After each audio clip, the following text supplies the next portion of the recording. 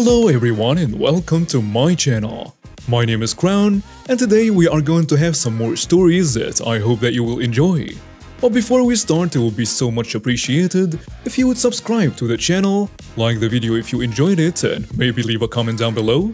These simple clicks would mean a lot to the future of this channel and really reward the effort that I put in every day. And now, without further ado, let's go! First story. They say you can't put a price on happiness, but it cost me a few thousands and it was worth every penny. My late husband was in a car accident his senior year in 1986 and got a settlement of 30k he could access at 18. He was a gearhead and wanted to buy a Corvette, but his mom did not like that idea, so she made him a deal. If he bought the car, he would have to pay rent and storage for his other cars, or he could buy property and stay home rent-free as long as he wanted.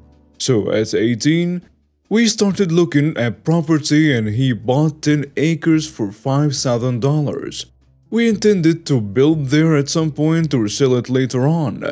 In the early years, we would have massive rakers and there was no one around to bother and it was great.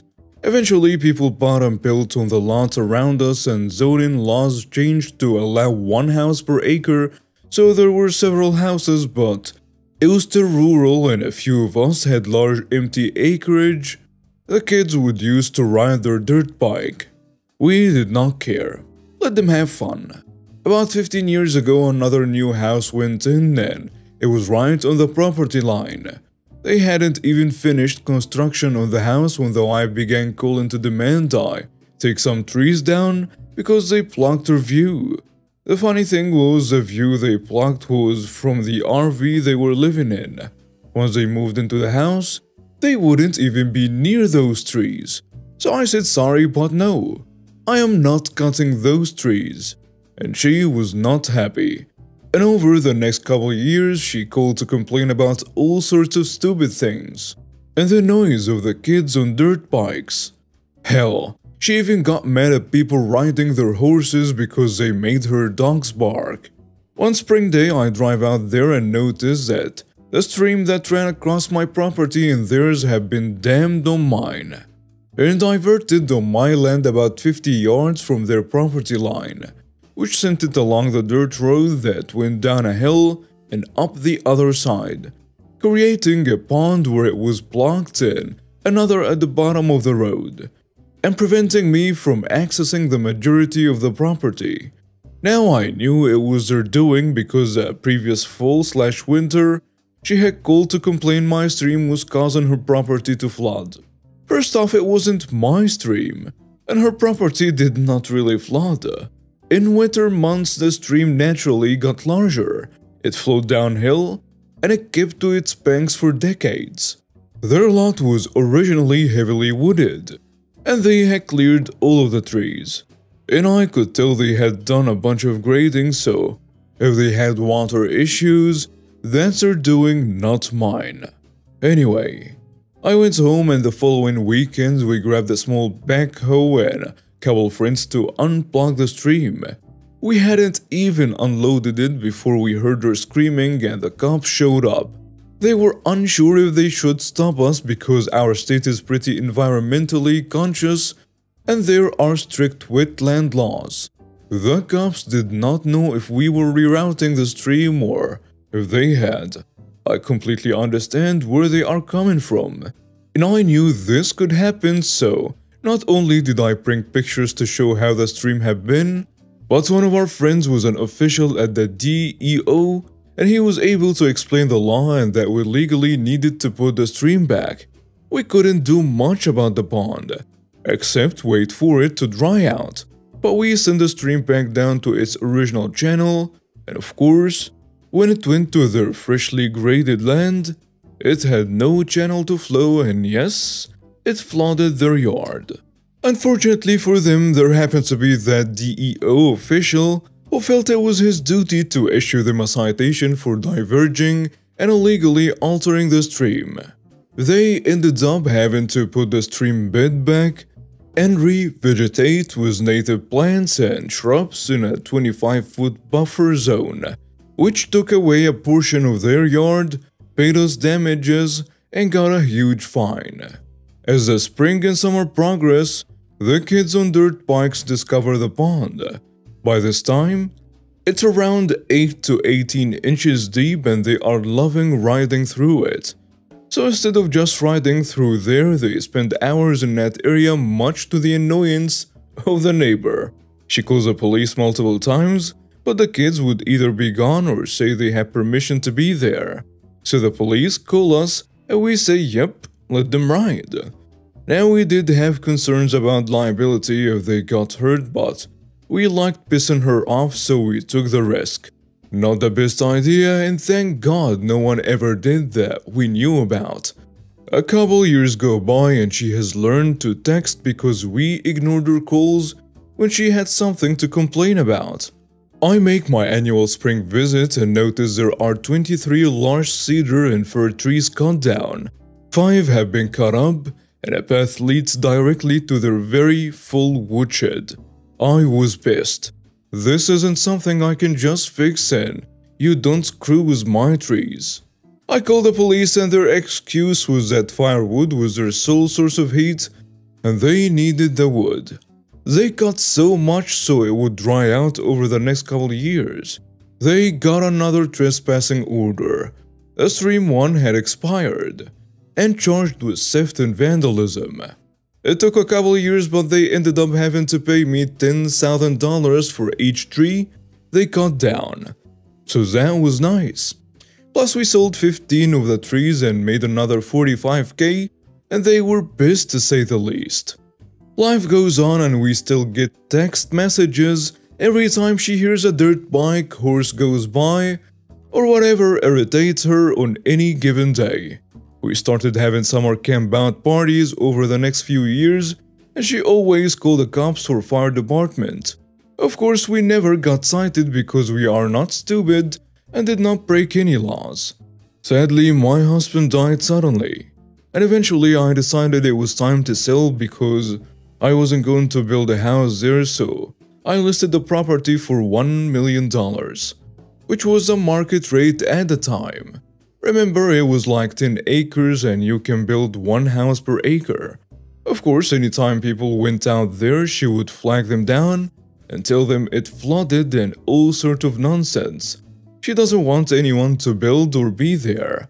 I should have renewed the second trespass order, but it expired right around the time my husband passed and it just wasn't important at that moment. Developers were not bothered and we did get a few offers under ask I was happy with but I really wanted to sell it to an individual who wanted to build a single home. Just being stupid and sentimental. My agent wasn't happy but understood. One day he called me with an offer that was much less than any of the others and they wanted to do an owner carried contract for 3 years with a balloon payment to pay me off at the end of the 3 years. There was a couple who wanted to meet me out there.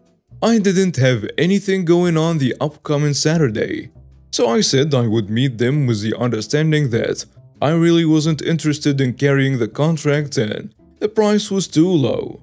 We figured they were hoping to change my mind and we were hoping they would come in with a better offer. They got there before me and when I arrived, the witch was there telling them how bad the property is. I parked on the main road and was walking in so none of them even knew I was there. As I approached, two little kids come flying up on dirt bikes. She comes unglued, grabbed a rock and threw at them. It came nowhere close to hitting them. The guy immediately starts yelling at her and tells her to get out of there. It scares her and she leaves. He sees me and begins to apologize but I stopped that and thanked him. We started talking and he explained that part of the reason they wanted this specific property was because they had two young boys who rode motocross bikes and he loved the trails. Plus he wanted to build a track for them. When he showed me where, I knew he was my buyer. I took the loss on the sale and carried the contract just to spite that which, while that is a huge sum, Remember, we paid 5k for it and got almost $300 for the trees and another 20 for the nonsense with the stream plus enjoyed the property for almost 30 years and I got the interest on the contract and the balloon payment. So it wasn't like we really lost out. Plus, knowing the witch was going to be miserable for years to come, you just can't put a price on that. I sold it 6 years ago, and I still go out a couple times a year just to check it out. They have built a beautiful house at the farthest point from the witch, and there is a huge track up by her place. She still sends me nasty texts and I should probably block her but it makes me smile each time knowing that she is still pissed. Well, worse the loss. And I know my late husband would approve. He always knew I was a pity witch. Next story. Entitled Person Gets Herself Exposed to COVID. So quick note. In most hospitals if you have tested positive for COVID, there is a procedure the hospital enacts. It varies by hospital, but generally speaking the standard procedure is to isolate the confirmed COVID patients and handle them first, barring some major traumas. I was diagnosed and confirmed so the story begins with me arriving at the hospital ER. At the time, I'd experienced some trouble breathing, shortness of breath, lots of fluid in the lungs, basically everything was not too good. That's probably putting it mildly, I suppose. But the point stands. I quickly get ushered into the isolation area, completely skipping the line of people waiting as COVID patients, regardless of status, are considered critical. I am laying on my bed in isolation, waiting for the doctor to see me, when I notice a screech of some kind of wild animal. That animal being an entitled person. I didn't catch all what she was saying, but got the impression that she was, in her mind, more important than me. How dare they take an obviously to her healthy person back first? No amount of talking and whatnot on the part of the nurses will stop her ranting and raving.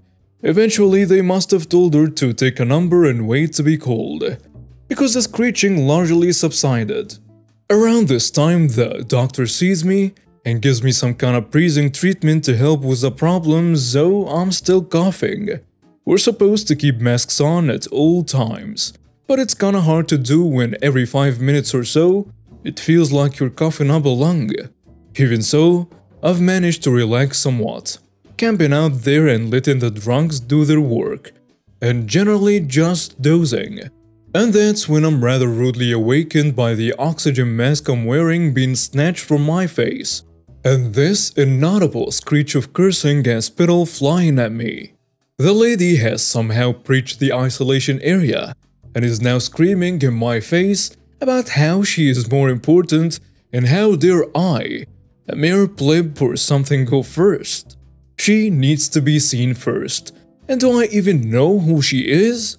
Between her screeching at me and my pressing the nurse call button, it takes maybe a minute for doctors in the bunny suits full hazardous response gear to respond. They work to pull the lady off me, but not in time to prevent me from going into one of my coughing fits. She's screaming incoherently at this point, and things only escalate from there. Security gets involved and ultimately she does get what she wants. Seen. Granted, she ended up being restrained to the bed, and it took a doctor practically yelling at her that she was now exposed to COVID. This did not sit well with her. She started blubbering and crying that she was now going to die, and it was all my fault. That didn't fly long though. The crocodile tears drying up pretty quickly while the doctor informed her, in no uncertain terms, they had video of her breaching the isolation room, that she had taken it upon herself to approach a patient without any formal protection. I ended up having to stay overnight, and she got to enjoy the test where they stick a swab all the way into your sinus cavity for testing, and a night at the hospital while the test came back. I have to wonder in all honesty if it was worth it. I mean, she'd come there for something minor, and now she gets to suffer with the rest of us blips who got the virus. I'm in the isolation period now. It was maybe a week to go before I'm clear. And sadly ended up with some permanent lung damage from my own ordeal. And a story of someone whose own entitlement got her in some really hot water. Next story. Entitled mother thinks she's entitled to my debit card. Background. I, 17 male, had just gotten a debit card. I had begged my dad for one for a while and finally got one on my birthday. I work part-time at a food chain and put all the money I earn into it. I'm always careful with it and make sure it's with me whenever I'm out. My dad gave me the card so I can see how I can use it and if I'll use it wisely. Sort of like a test to see if I can be responsible with money later on in life. Keep in mind my family is not particularly rich. We're stable, but we do not consider ourselves really prominent. I use the money I get to buy for things that I like to buy to ease some of the financial pressure that is on post my working parents. Use it for things like games for my PC, gifts and treats I get for myself whenever I go out. And I've been saving up for a PS5. The incident. I was hanging out with my friends at the mall. We were walking, talking, and walking around stores. Suddenly, one of my friends, we will call her Jay, started feeling dizzy and unwell. She would get nauseous if she walked too much without rest. My two other friends sat her down and calmed her while I rushed to a nearby supermarket to get her water and some aspirin. Most supermarkets sell that. I don't know what the situation is in the States. I got the items and quickly scanned the registers to find them all occupied. At the end of the row of the registers, though, there was a self-checkout lane that was practically empty. I ran towards the machine, scan my items and take out my debit card to pay. As I bagged my items, I tried to wiggle the card into my back pocket. I had obviously failed then. It fell. What with the place being loud and me trying to be quick, I hadn't noticed that my card had fallen. I ran out to meet up with my friends and make sure Jay is alright. And that's when I realized my card wasn't with me. I quickly scanned around the bench we were sitting at and confirmed that I had probably dropped it at the self-checkout.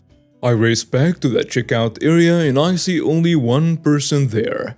Introducing the entitled mother, she was scanning a few very pricey items, caviar, sparkling water, premium shampoo, and so on. I approach her to ask her about my card when I see that she's holding it in her hands. I politely tap her shoulder and ask her for my card.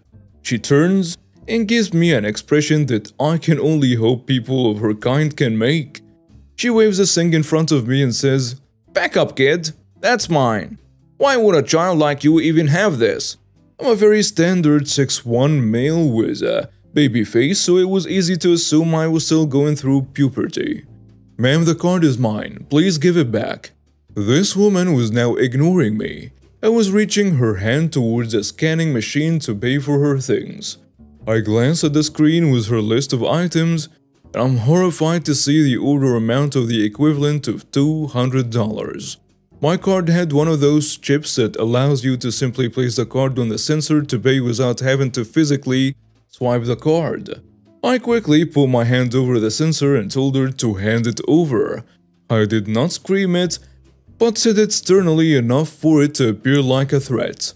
What happens next still makes me cringe to this day. The entitled mother fig falls on the ground, starts cowering behind her arms, and yells, Thief! Thief! He wanted to rob me! He hit me to steal from me! Help! This immediately catches the attention of everyone in the registers beside us, introducing my savior, a nice security guard. He approaches us and tries to understand what is going on. He approaches a woman at first to see what happened, where she sputters slurs and racist remarks at me. I'm Middle Eastern and where I live, and some locals have very unique views on us. The officer I later learned was also Middle Eastern. He helped her up and turning to me, asked me in Arabic, our native tongue, what happened. This took both me and the entitled mother by surprise since this guy was as white as vanilla. I explain everything in Arabic to the nice guy, with the entitled mother being ignored as she mumbles and growls. After hearing what I had to say, he ordered us both to come into the back rooms so he could check the tapes. We're both taken by other security guards into the security main office and wait. After about 5 minutes of awkward, silent waiting with the entitled mother, the nice security guard comes back and demands my card back from the entitled mother. The entitled mother then bursts into a bowl of sob and tears. I'm a single mom. I need the money. And she gives this whole charade. I'm there watching while I die inside from the amount of discomfort I'm in. On one hand, I know this woman is lying and just looking for an excuse to steal from a minor. But on the other hand, she a 40-something woman that probably has kids. Instead of being responsible and owning up to her actions, she's playing victim and throwing a tantrum like a baby. Security confiscated the card, and after confirming that it was mine, it had my name on it and I had my ID on me. They led both of us separately and I met back up with my friends and told them what happened. As I'm telling the story, I catch the entitled mother in the corner of my eye being dragged by police officers, with what looks like her husband and teenage daughter at her side. I look back up and give her the bird, and she notices but before she could do anything, her husband looks towards me and gives me an apologetic look. Single mom Maya. And now we have reached the end of today's stories. Thank you for watching and see you next time.